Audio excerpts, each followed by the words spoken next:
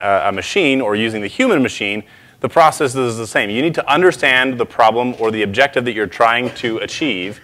And if you don't, you're not likely to be very successful in that. The difference is that when you are doing research and information gathering for things like social engineering, you're much more likely to go through the trash than you are to go through a lot of other things because people are often very careless. In addition to that, uh, there's planning, of course. Once you understand your objective or you understand the problem, it's nice to go ahead and put together a plan of how you would like to achieve your objective, how you want to attack the problem. Uh, Next is a video of using a plan. Let's turn the volume up just a little bit. Ah! Us. I hate to imagine what the rest of your plan was. How did you get in? Far less effective on a second floor landing. I have an alarm. You do, and your code is your birthday. You might as well take all your valuables and put them right out on the lawn. Anyway, so I, I, think it's important to have a plan, not only if you're trying to achieve these kind of objectives with other individuals, but also to have a plan with the, the way that you would like to not be social engineered by other people. Uh, the next one is the approach. When you are approaching someone to perform some kind of social engineering, or someone approaches you, uh, you want to make sure that you don't ruin your plan by giving anything away. Uh, and then the delivery, making sure that you follow your plan, but also have a plan that's adaptable enough that you can kind of work on the fly and change things around to meet the needs that you have. And lastly, extrication, getting out, uh, preferably without setting off any alarms or red flags. Uh, and then I have another video to show a quick example of this. Some of you may have seen this film. On your head! Drafting. He even has little payroll envelopes addressed to himself. Put it down! Drop it! Relax! You're late, all right? My name's Allen, Barry Allen, United States Secret Service. Your boy just tried to jump out the window. My partner has him in custody. I don't know what you're talking about. You think the FBI are the only ones? I mean, come on. Come on, he's dabbling in government checks here. Been following a paper trail on this guy for months now. Hey, you mind taking that gun out of my face? Please, really. I mean, it makes me nervous. We see some credentials. Yeah, sure. Take my whole wallet. you want my gun too? Come over here, take my gun. Hey, hey, look, just do me a favor. Take a look outside. Look, look out the window. My partner's walking into the car as we speak. Look. Old guy almost pissed in his pants when I came through the door. He jumped right through the window onto the hood of my car. Hey, Murph. Yeah, call the LAPD again. I don't want people walking through my crime scene. I didn't expect the Secret Service on this. Don't worry about it. well, what's your name? Henry. Carl Henry.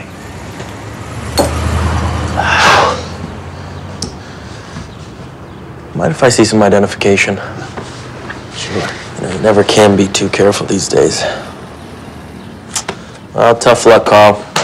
Five minutes earlier, you would have landed yourself a pretty good collar. It's all right. Ten seconds later, and you'd have been shot. Mind if I come downstairs with you? I, I gotta take a look at this guy. Sure thing. Just uh, do me a favor and sit tight for a second while I get this evidence downstairs. You know, I don't want some maid walking through here and making the bed. LAPD should be here any sec. Wait.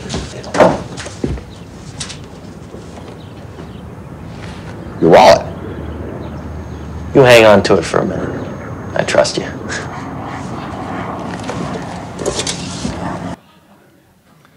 So that's some uh, pretty incredible delivery and uh, obviously some talented acting as well. But uh, being able to adapt and observe on the fly, he was able to understand that one of the normal things that law enforcement officers would do to one another is ask for identification. So he used that actively in that kind of thing. So uh, there are a number of things that are part of the, the different components of social engineering. One is preloading, getting the conversation ready before it even starts. Uh, this is very common in advertising. Uh, some of the, the things that you might see in perhaps a, a, commercial for drinks is people are always partying. I don't know if you're aware of this, but just opening a drink doesn't start a party at your house or invite your friends over. But that preloads the conversation almost every time you see one of those advertisements. Uh, the next is pretexting, and that is the assumption of a rule, which may or may not be deceptive. Uh, in this particular video that you just saw, it certainly was, but you can also pretext something that you are. Uh, elicitation is drawing answers out from people. Sometimes that's asking a direct question. Like I can ask Russell Fisher, why in the world do you like doing the wave at YAPC? Or I could say, hey Russell, I noticed that you did the wave at YAPC yesterday, and let him take it from there. I think that probably both of those things would be very effective to get some information out of him. Uh, sometimes you have to choose the right method for you. Uh, the next one is framing. Each one of us as a human being has our own frame of reference, our own worldview. And in you, things are different than they are for other people. Uh, we also have little sub-views of different things. The way that we deal with certain situations is common to us, but not necessarily common to, other people understanding how someone frames their own environment or being able to bring someone into a particular frame that they already possess is very valuable. The, the next uh, component is rapport, which is like uh, your, how much you're liked, how likable you are. How many of you are liking me right now? okay, a couple. Maybe we can try to improve that. Uh, if you're likable, people are much more likely to do what you would like them to do, and you're much more likely to do things for people that you like. It's just the way we work. Uh, next is observation and listening. If you listen very carefully to what other people say and what, watch what they act, you're far more likely to understand how you need to interact with them. Uh, and then the last one, of course, is influence. You need to be able to use some kind of influence on someone as part of social engineering, whether it is getting them to perform a particular action, or getting them to not perform a particular action, or getting them to believe in a particular way or change their opinion in some circumstance, that is you uh, culminating the social as part of the influence. And sometimes this is manipulation for you know, nefarious purposes, and sometimes it's used for good things. Uh, social engineering is used in a lot of different ways, and we all use it pretty much every day. We just don't think of it in that particular way. Uh, now, as far as talking about instruction sets, the human machine is a little bit more complex than, say, the Perl compiler, in that we require a little bit different motivation. In Perl, you just tell the compiler what you would like it to do, and it does it. In uh, asking a human to do something, say, make me a sandwich, it's not very likely to happen unless you have a really good reason. So what are the reasons that we do things? Uh, the first, of course, is authority. Uh, I like to liken this to the you're not the boss of me from elementary school. How many of you use that? all the time, right? My kids say that. You're not the boss of me. Uh, it turns out that when someone is the boss of you or threatens to tell the boss of you, you're far more likely to do something that they want. Uh, the next one is avoidance, and I've got a short clip about that. Yeah. Who's this? What? Uh, this is uh, Mallory. Oh, is this your friend from work?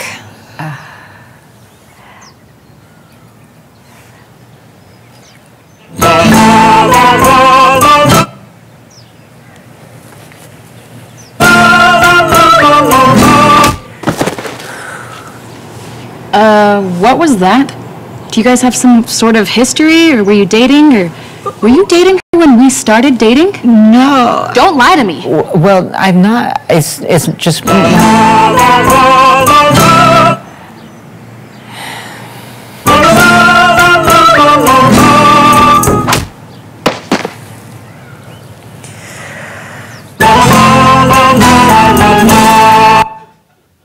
All right. So uh, I think you'll find that we're very likely to use uh, avoidance as a strategy. We're likely to try and avoid certain situations that are uncomfortable for us, and that motivates us to do things. The next one is the uh, commitment. Uh, you might not be able to read that. This is a father who wrote 826 notes to his daughter after he was diagnosed with cancer as part of the Twitter campaign for the Because I Said I Would uh, movement. How many of you have heard of the movement? Nobody. Okay. Uh, it's, it's a fantastic movement. I think that uh, having the integrity to follow through with this is an interesting thing. Uh, this particular motivation strategy works very well with me, in case you were wondering. Uh, my children use it on a regular basis, telling me, Dad, you promised you would read two stories tonight instead of one. Okay, I'll read two stories. I will do it. Uh, the next one is consistency. I don't know if you know how long ago Aristotle wrote the "We are what we repeatedly do." Excellence, therefore, is an uh, is a habit instead of an act. Uh, a long, long time ago, humans have been doing this idea of being consistent and following through and repetitive. It's a motivation for us because we believe that that leads to excellence. The next one, this one's for you, Cora, your cat picture. Uh, when you surrender something, when you concede something to someone, you're more likely to concede again. Uh, this happens in sporting events, and it happens whenever you concede something to someone else. Uh, oftentimes, we find out that we're in a position where we don't have very much to bargain with. Uh, the next one is fear.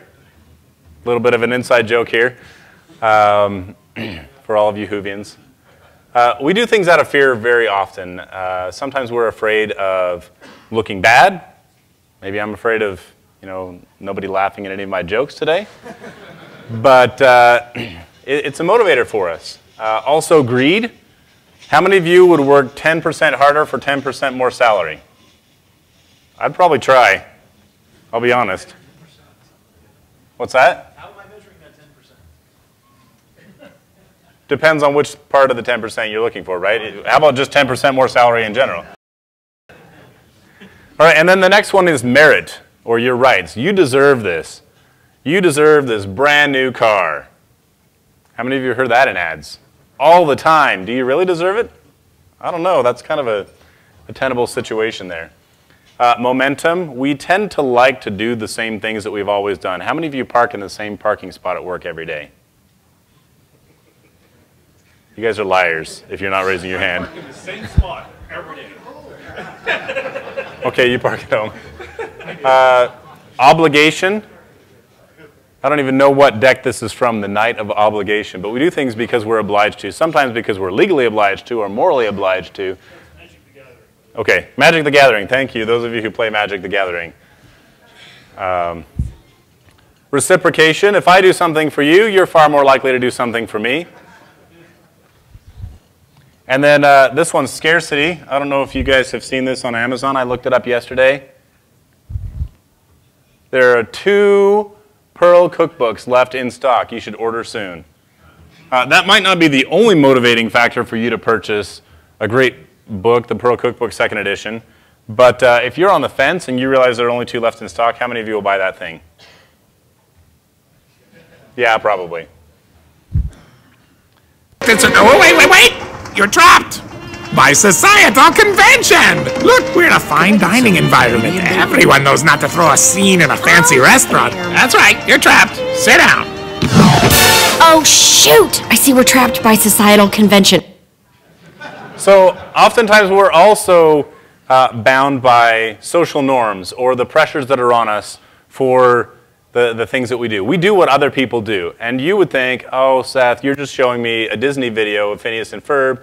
That doesn't happen in real life. Well, yes, it does. The gentleman in the elevator now is a candid star. These folks who are entering, the man with the white shirt, the lady with the trench coat, and subsequently one other member of our staff, will face the rear. And you'll see how this man in the trench coat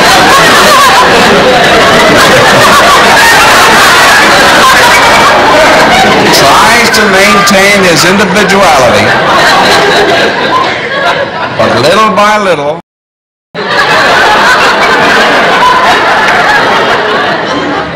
he looks at his watch, but he's really making an excuse for turning just a little bit more to the wall.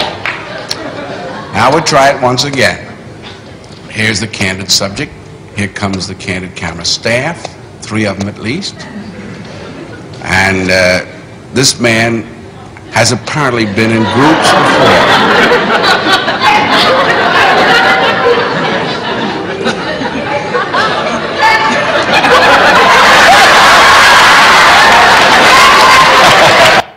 All right, we're going to cut that a little bit short so that we can uh, make time. Uh, they actually did a couple more experiments where they had uh, people taking their hats off and turning to the side and then turning back, and people would follow it all the way through. You wouldn't believe the kinds of things you will do because other people have done them. But to wrap it up, let's talk a little bit about the story time. So for the reward system situation that I, that I talked to you about, I called up this company because I wanted them to return ownership of this particular account that I had access to to someone else. I called up and I said, look, I'm trying to make things better. I know that I'm not the rightful owner of this. I'd like you to transfer it to someone else. Uh, here you go. This is the person that it belongs to. The person on the phone said, I'll go talk to my supervisor, clear it with the supervisor, and transfer it away. Uh, the world is a better place, although probably not safer because of that. There was no real validation that occurred there, so I could have just transferred it in a different direction, but okay. Uh, as far as the experience in the home improvement store, I was very flustered. It was very awkward to be the guy who someone shouted out and said, you, you shot that man. There was blood everywhere. Uh, I didn't actually do that, and uh, I vehemently denied it, but it also made me make my purchase quite fast. Uh, in the case of the push pins, every person that I presented that to took one. I didn't have to say a word. Uh, there were several people who said, why are you giving me this? And I said, I didn't give you anything, I just held it out there. There were several people who said, why do I have this? And the, the, the process jumped all the way through to the, what's going on? Uh, and then lastly, the do not move thanks management sign stood in the hallway for six months. We actually moved it in front of the boss's office for a couple of weeks to the point where she had to like waddle around it to get into her office every single day. Not once did she think, I'm the management. How does this even happen? so uh, while you're using social engineering in your life, uh, I'd like to suggest a couple of things as far as ethics.